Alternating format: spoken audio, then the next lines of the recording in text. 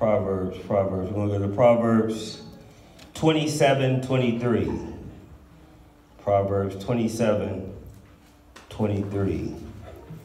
Turn to the book of Proverbs. Proverbs 27, 23. Before we get started, let's give God a hand clap. Hallelujah. God bless you. Amen. Proverbs 27 and 23.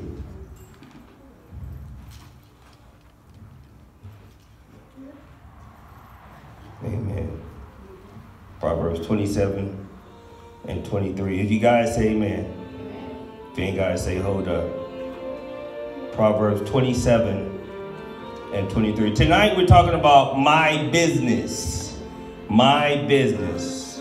My business. How many of you know you need to be taking care of your business a little bit better? Amen. Amen. Raise your hand. Amen. So tonight we're talking about my business, not your business. My business. Proverbs 27 and 23. It says, Be thou diligent to know the state of thy flocks, and look well to thy herds. Uh, the Living Bible translation says this. It says, uh, riches can disappear fast, and the king's crown should not stay forever. So watch out for your own business closely. Uh, one of the things is the devil get us caught up uh, you guys have uh, Wi-Fi, and so now you got Netflix and you got Instagram and you got all these various different things. And the interesting thing, you can catch yourself on Instagram or what's that thing, TikTok, for hours, hours on TikTok. You can be for hours on Instagram, and while you wasting the time, you ain't handling your business. You, you, you misappropriate the time that God has given you. God says, be sure to take care of your business. Because the thing is, you ask God for great things.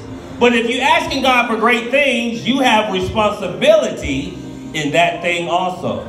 See, the thing is, we like to blame God. Well, well, God, I didn't get the house I wanted.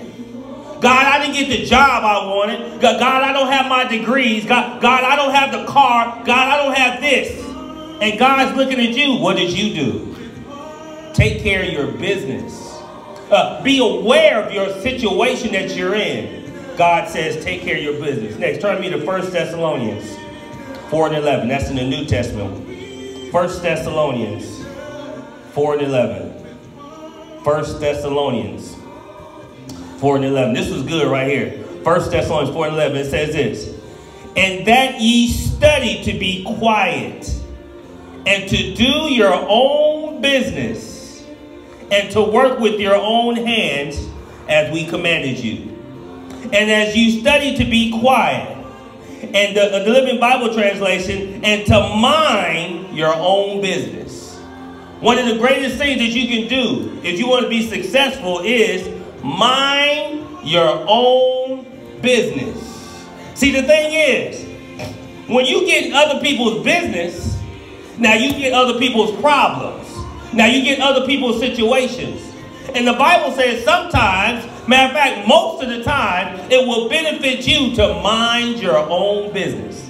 How many of you ever got caught up in somebody else's mess? Uh, one of my friends, her daughter got caught up because her girlfriend said, my, my, man cheating on me. And they ran over there and, and bust the man windows out, scratched up his car. Now you got a whole situation that you done brought up to yourself. That ain't have nothing to do with you. The Bible says, mind your own business. You got enough of your own business. Why you worried about what somebody else is into? If it don't affect you, sometimes you got to mind your own business. That don't mean you can't be concerned for somebody. Somebody call you and they say, well, I need help or, well, I need this and that. You can listen. You can participate in building them up. But if they doing something they ain't got no business doing, you don't have no business helping them. Mind your own business. Some of you, you're young, and the thing is, uh, the devil will come at you with situations. Sometimes it's just best if you mind your own business. It was a man. He, uh, they interviewed him the other day, and I saw it in LA Times. He lived. He's 108 years old, and they asked him. They said, "What's your secret?" The first thing he said, "I mind my own business," and I thought that was profound. But then I thought about it. The thing is, if you mind your own business, that's less stress on you. You can get yourself caught up in a whole bunch of mess when you're trying to take care of other people's things and neglecting your own. Mind your own business. Next, turn with me to Second Chronicles 20 and 20. Second Chronicles 20 and 20. Second Chronicles. Thank you, Jesus. 20 and 20. I done got in a whole bunch of trouble. Mind getting in somebody else's business and not taking care of my own affairs. Second Chronicles 20 and 20. This is called my business. Second Chronicles 20 and 20. And it says, And they rose up early in the morning and went forth into the wilderness of Tekoa. And as they went forth, Jehoshaphat stood and said, Hear me, O Judah, and ye inhabitants of the land of Jerusalem. Believe in the Lord your God, so shall ye be established. Believe in his pastors and listen to what they say, so shall ye prosper. So, number one, uh, if you believe in God, he will establish you. He will give you a foundation. The, the problem that so many of us have, we're standing on shaky ground. Your mother and father didn't give you a solid foundation. Your grandmama and your grandpapa didn't give you a solid foundation. So you struggling right now because you standing on shaky ground. The Bible says, God says, if you believe in me, I will give you a solid foundation. Some of you need to truly stand on your faith and believe in God. Because everything that you see around you has failed you. Your friends failed you. Family failed you. Schools failed you. So God says, if you want to change that, believe in me. And then it says, listen to the pastors, and ye shall prosper. What does that mean? You might not need to follow my lifestyle, because I, I can do some weird things, but listen to the words that I say. Because the words that I say are the only things that in this Bible. Listen to the words of the pastor, and ye shall prosper. That means you will have prosperity along your way. Because I'm only saying the words that are in God's book. Listen to these words, and ye shall prosper. Believe in God, and he will give you a solid foundation. You want your family to stand on solid ground. You want your finances to be on solid ground. You want your relationships to be on solid ground. You want your thoughts and your dreams to be established on things that are solid. Trust in God, and he shall establish your ways. Next, turn to me to Proverbs 18:22. This is for the men. It's going to get hard tonight for men. This is for the men. Proverbs 18:22. Proverbs 18:22. It says, Whoso findeth a wife findeth a good thing and obtaineth the favor of the Lord. Whoso findeth a wife findeth a good thing and obtaineth the favor of the Lord. Uh, number one, uh, men. God says if you want his favor, you need to find a wife. Uh, it, uh, uh the thing is, being single as a man is cool because you can date this woman and date this woman and date this woman. Uh, if you've ever dated, this is for the fellas, we ain't talking about the women. Every time you go out a date men, most of the times you pay. So you got three women, you paying three times. If you got three women, it's Valentine's Day. That's three Valentines. If you got three women, you got three birthdays. If you got three women, you got three Christmases. God says, the man who will find it, the wife find it a good thing. God said, get you one and hold on to that one. Because if you get two, three, four, five, that's more stress on you. God says, if you want favor, find a wife and you obtain the favor of the Lord. Next, go with me to Ephesians 5 and 33. Ephesians 5 and 33. Why are we talking about this, we're going to get to it. Ephesians 5 and 33. Men, this is for you. Men, this is for you. Women, you got a part in this too. Men, this is for you. It says, Nevertheless, let every one of you in particular so love his wife as you love yourself. Stop. Men, you need to love that woman the way that you love yourself. And, and that's hard. And see, some of the things you ladies going to find, some of the men that you date don't even like themselves, much less love themselves. Look at their lifestyles and the things that they do. So, men, God says, love that woman like you love yourself. That means don't do nothing to her that you wouldn't want done to yourself. That means we have to treat her fairly and treat her the way that we want to be treated. God said, love that woman as you love yourself. Let's keep reading Ephesians 5 and 33. And then it says, women, ladies, women, it says, respect your husband.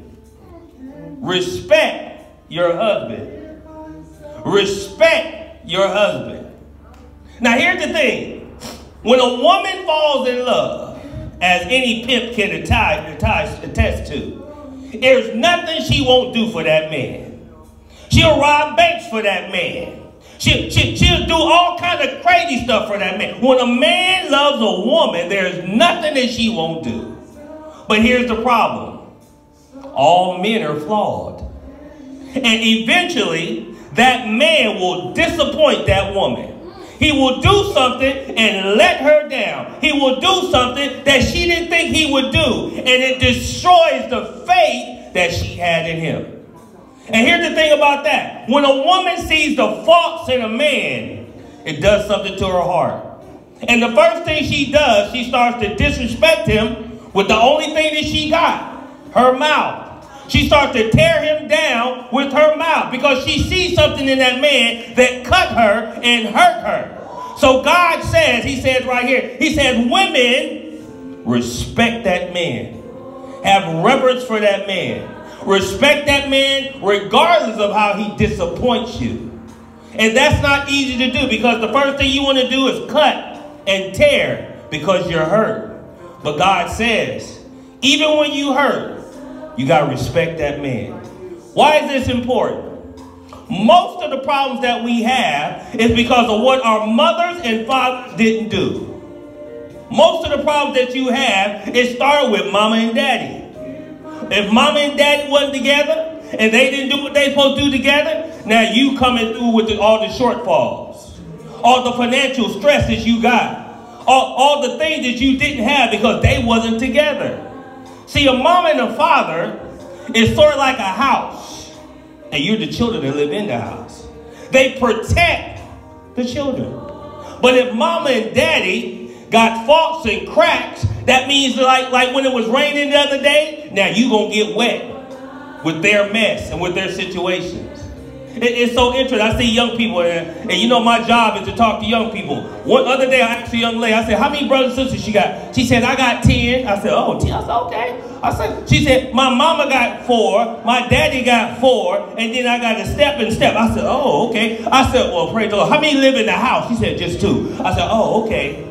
These families now are so confused because you got children here, children there, children everywhere. You got all kind of craziness and chaos going on in these families. And this mother don't like this child because this child belonged to that mother. Because mom and dad didn't take care of their business. So men and women, you have to, lo- man, love and trick that woman how you want to be treated. And woman, respect that man, even when he disappoints you and he lets you down. Next, turn me to Ecclesiastes. Ephes- go to Ephesians, Ephesians 6 and 4. Thank you, Jesus. Ephesians 6 and 4. Ephesians 6 and 4. Ephesians 6 and 4. Men, it's going to be hard for us today. And ye fathers, provoke not your children to wrath, but bring them up in the nurture and the admonition of the Lord. And ye fathers, provoke not your children to wrath, but bring them up in the nurture and admonition of the Lord. Let me translate that. Fathers, don't disappoint your children. Dad, don't disappoint your children. Father, don't let your children down. Father, see the thing is, uh, 90% of successful people always give their credit to their father. It's interesting, when you watch the NBA, you watch the NFL, you see, hi mom, they only say hi, mom, because ain't no dad. But when there's a father that's there, when there's a father that's being doing what God has called him to do, when they look at that father, they see God. So men, don't disappoint that child. Don't, don't, let that child have to cry at night because you're not there. Don't let that child have to cry at night because you touched them. Don't let that child have to cry at night because you're not providing for them financially. Fathers, don't disappoint your children. Why is this so powerful? I grew up in a home without a father. I didn't meet my dad until I was 38 years old. As a teenager, I, I acted tough, but I was hurt on the inside. And because I was hurt, I hurt the young ladies that I dated. Hurt people hurt other people. So, daddy, if they call you daddy, you got to be there for them. Uh, but that woman, she won't let me be there. I got baby mama. I know what that feel like. I was dragged in and out of court. I went to court so many times it didn't make sense. But I went. And I dealt with it. And I, I dealt with, I remember one time they took child support out of my check. I got a check for $22. I said, what? $22, because they took all my money. It went to child support. Now, I, I, I, I, I would just say, God, what am I doing this? And God said, I got you. Why would God say that? Turn to 1 Timothy 5 and 8. Turn to 1 Timothy 5 and 8. Thank you, Jesus. How could God get me and, and I only got a check for $22? Turn to 1 Timothy 5 and 8. You guys say amen. 1 Timothy 5 and 8. It says, But if any man provide not for his own, and specifically for those of his own house, he hath denied the faith, and he is worse than an infidel. But if any provide not for his own, and specifically for those of his own house. He hath denied the faith, and he is worse than an infidel. So the thing is, God says, if it's yours, you got to take care of it. That's a hard word. Because we live in a world where it says it's about me. And here's the thing if you don't take care of that child, man, we ain't talking about the women. See, this is for men. Why would God put this on the man? Because it all belongs to the man. That's your child, that's your woman, that's your responsibility. When that woman dies, God ain't gonna talk to her about them kids. What? When that woman dies, she ain't gonna be talk. God ain't gonna say nothing to that woman about none of them kids. He going right to the daddy. What? Those are your kids. But the court said they got nothing to do with God. God said, You made it. I gave them to you. What did you do with them? Why do you say that? Because God calls you the head. You're the head of those children. You're the head of that family. So God says, if you don't do what you're supposed to do with them, you're worse than an infidel. You have denied the faith. And everything that you touch will be cursed until you provide for those children. I don't know one, know one man who neglected his children who's successful. And I know thousands of men. I'm a Kappa. I know whole, I got a whole lot of fraternity brothers that are rich. But the only ones who made it were the ones who took care of their children. So men have to take care of their families. And it's not easy because we live in a world where we're the enemy. Because Satan hates us because of who we are. But God says, be there provide for your children. Next, turn me, turn me to the book of Proverbs. Book of Proverbs 27 and 20. Proverbs 27 and 20. Proverbs 27 and 20. Proverbs 27 and 20. Proverbs 27 and 20 says this Hell and destruction are never full. So the eyes of a man are never satisfied. Hell and destruction are never full. So are the eyes of a man never satisfied. What does that mean? Heaven is not going to be crowded. Heaven is not going to be crowded. And the number one reason why heaven ain't going to be crowded is because most people can't forgive. It, it, it, ain't got nothing about you to, uh, believing in the Lord Jesus Christ and, and taking communion every first Sunday. Ain't got nothing to do with it. Most people ain't going to heaven because most people can't forgive. That's the greatest sin amongst many men. They're holding on to pain, they're holding on to tragedy, they're holding on to disappointment, and they can't forgive their brother, they can't forgive their mother, they can't forgive their friend, they can't forgive their father, they can't forgive. God says in Matthew 6 13 and 14, He said, If you don't forgive, I won't forgive you. So it says here in the book of Proverbs, it says, Hell will never be full. God is making room. There's another book in the book of Isaiah where God said he's making room. He's making hell real big. Because there's going to be a whole lot of people going there. And the main reason is holding on to past pain. So the thing is, it says here, hell won't be full. Then it says, men will never be satisfied. It, it, it's interesting. I used to fuss. If you had ever had my class, if I saw you with a pair of Jordans, I'd start talking mess. Because Jordans cost 200 How you got them shoes on? And this and that. How many pairs of Jordans are there? I don't even know. I know they released the same shoe in a different color, and y'all line up outside the door, spend $250, stand up all night, and you got plugs, you got all this kind of things and bots to buy these shoes. And they cost all this money. Why do you have the same shoes in 20 different colors? Why do you have the same things, uh, so many different Louis Vuitton purses? Why do you have so many different cars? Why do you have all these different things? Because the Bible says the eyes of a man is never satisfied. We're not satisfied. So we always want more and more and more.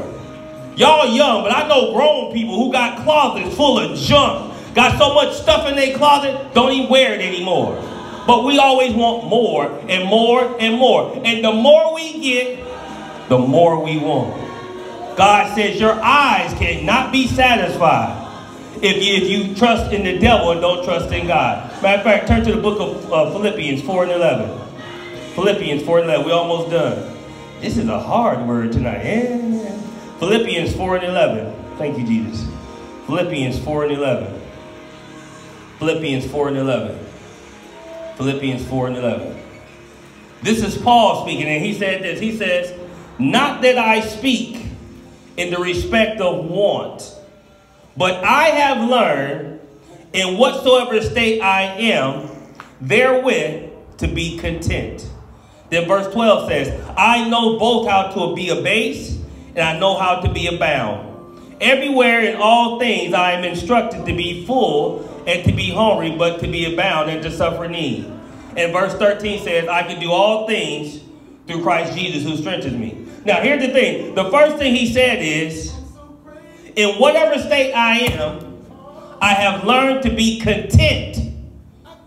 You have to learn to be content. What does content mean? I have a lot of money. I'm good. I'm broke. I'm good. Uh, I have a car. I'm good. I'm taking the bus. I'm good. I have a nice house. I'm good. Uh, I'm sharing a room with my sister. Or I'm sharing a couch. I'm good. Whatever state you're in, you have to learn how to be content. Why would God say that? Because if you can learn to be satisfied, God can give you more. But if you complain about everything that you have, why would God bless you? Because everything that you get, it'll never be enough. You'll never have enough purses. You'll never have enough jewelry. You'll never have enough of anything. And the devil keeps tricking you, and then he got you focused on getting things, and now you forgot about God. One of the craziest things that I've seen, our church has been alive for about eight years now. And I, I, remember when we first started the church, me and Bishop, Bishop was driving without a driver's license. We would drive around and pick up folks. And when we picked up folks, they come to church. But as soon as God bless them with a car, don't see them no more. As soon as God give them a good job, don't see them no more. Because now they got some things, and now I got a little money. So now, oh, I'm tired. I got to go to sleep. Oh, I got to do this. And now you start putting the job before God. And the Bible says, can a man serve God and mammon? Matter of fact, turn to Matthew 6 and 24. Thank you, Jesus. Matthew 6 and 24. Matthew 6 and 24. Thank you, Jesus. Matthew 6 and 24 it says, No man can serve two masters, for either he will hate the one and love the other, or else he will hold to the one and despise the other. And then it says, Ye cannot serve God and money. So it's either one or the other. Which one is going to be your God? Is God going to be your God, or is money going to be your God? And here's the thing if money becomes your God, it will draw you away from Christ. Next thing you know, you've been out of church six months, Six months turned to six years. Six years turned to a decade. Next thing you know, only time you see church is every time you you scroll by on your Instagram. Oh, they having church. Hmm. That's like when you drive by. Is it Sunday? Some people don't even know when Sunday is. They think, oh, Sunday brunch, Sunday fun, Sunday turn up. Let's go get some wine. And the next thing you know, cancer come out of nowhere. Next thing you know, the devil snatch a child. Next thing you know, all kind of craziness happen. Next thing you know, car accident. Next thing you know, lose your job. Next thing you know, stroke. Next thing you know, heart attack. Because the enemy says, oh, you ain't got no God. Here I come. What? You that ain't the truth? Good. Turn to the book of Job. I don't believe this. This man is insane. I'm glad you said that. Turn to the book of Job. When you get God out the equation, Satan step in. Job 1 and 7. Job 1 and 7. Job 1 and 7. And the Lord said unto Satan, Whence comest thou? Then Satan answered to the Lord and said, From going to and fro in the earth, from walking up and down it. Satan is walking all around you. When I was growing up, they always said, Satan is in hell. No, he ain't. Satan's in hell. He ain't even touched hell. Satan is all around you. Satan is sitting in the pews next to you. Satan is at your job. Satan is waiting at the liquor store across the street from you. Satan is waiting in your pocket on that cell phone, that text message. Satan is all around you. For the Bible says we wrestle not against flesh and blood, but against spirits and principalities. The enemy is all around you. And he's waiting to destroy you. He's waiting to tempt you. He's waiting to test you and he's looking to see who truly believes in God. See, the thing is, Satan is the God of this world. He is almost as powerful as Jesus Christ. So the thing is, he has the power of immutability. That means he could see through generations. He saw you, he saw your grandfather, he saw your great great grandfather, he saw your great great great great great grandfather, and he sees all the same traits in you. And he's going to test you and tempt you and try to destroy you with the same thing that he got your daddy with. He's going to comfort you at the same thing that he got your mama with. He's here and he's here to tempt and destroy you.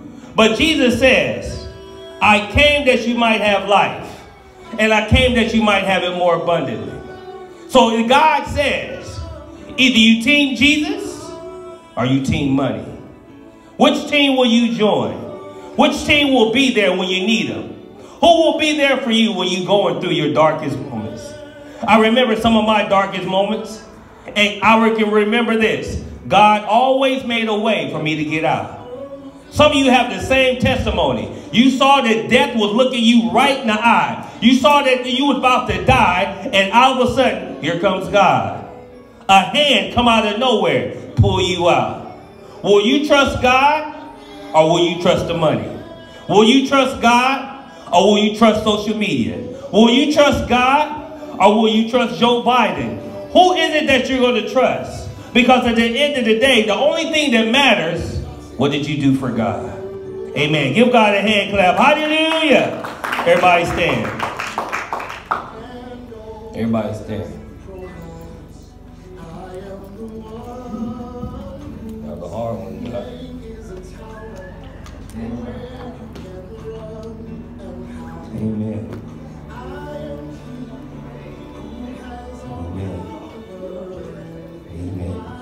Give God a hand clap. Hallelujah. Amen. Amen.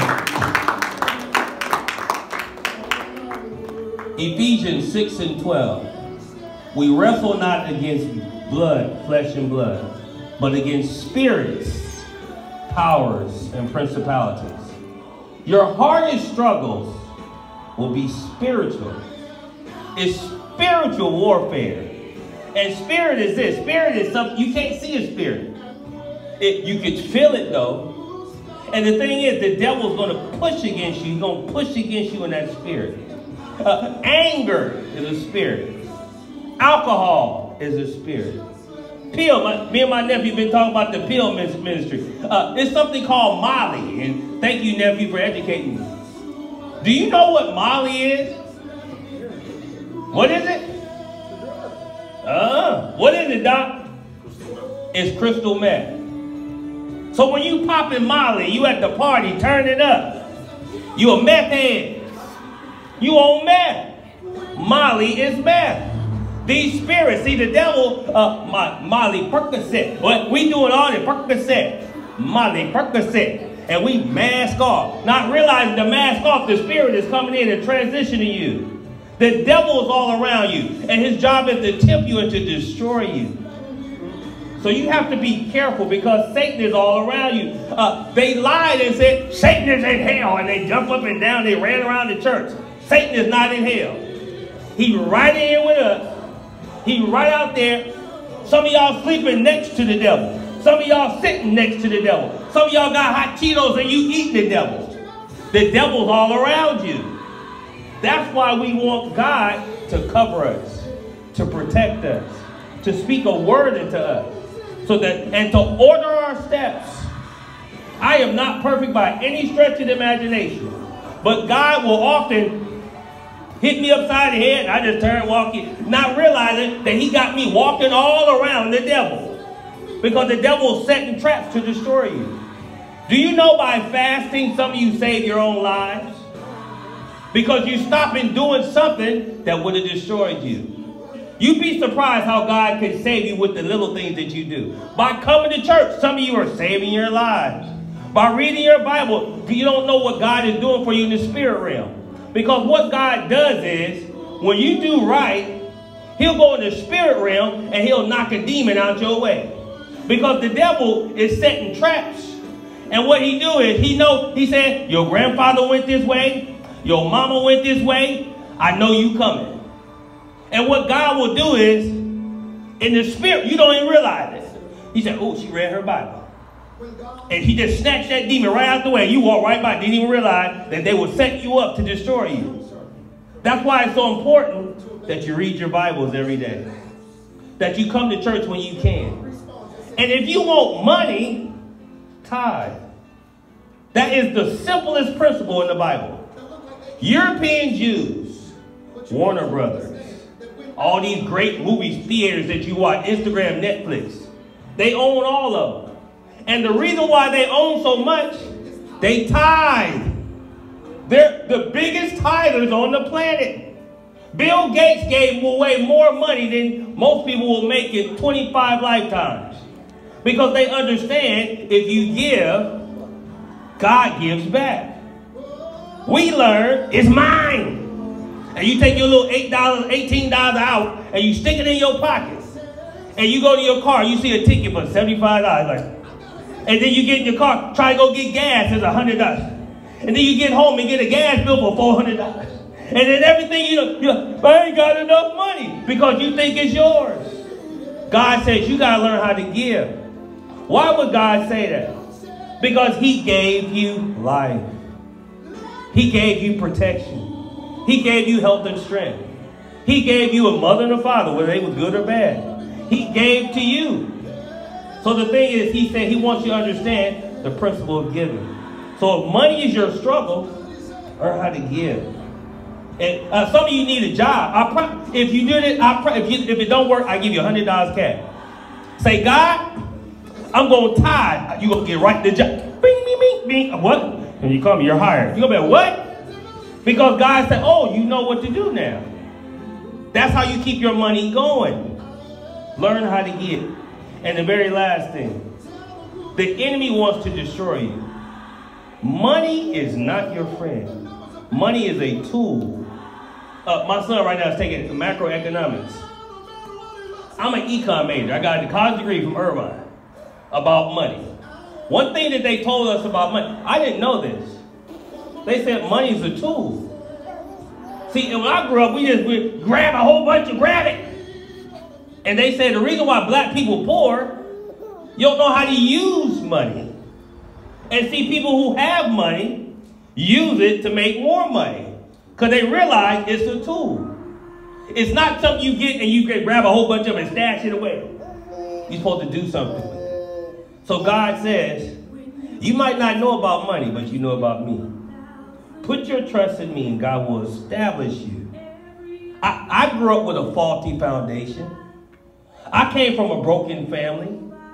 But when I got God, He gave me a foundation. And now my, my family can stand on my back because I got some ground to stand on. And it's not anything that I did. I just submitted to God and He made me solid. Uh, today, uh, right before church, I was asleep. My nephew was out too. And the thing is, God got me up at 7.15, put all this whole sermon together in 28 minutes.